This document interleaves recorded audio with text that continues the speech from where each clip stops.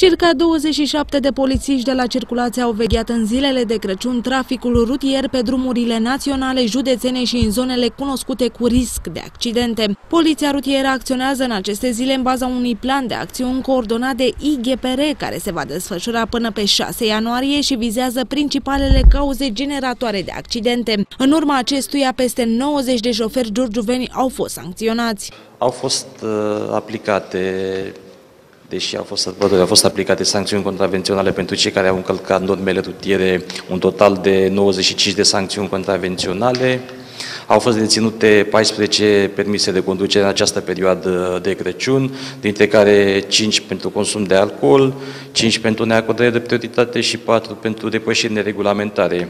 Totodată am înregistrat și un accident rutier care a avut uh, consecințe 5 răniți ușor, un accident rutier pe fondul uh, neadaptării vitezei la condițiile de drum.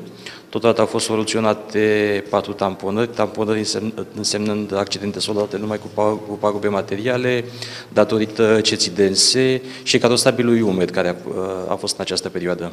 Potrivit reprezentanților Poliției Rutiere Giurgiu, în perioada următoare agenții de la circulație vor efectua controle pe principalele artere rutiere, drumuri naționale, județene și în zonele cunoscute cu un trafic aglomerat. Totodată aceștia îi sfătuiesc pe șofer să adapteze viteza la condițiile de drum și să nu se urce la volanul mașinii sub influența băuturilor alcoolice.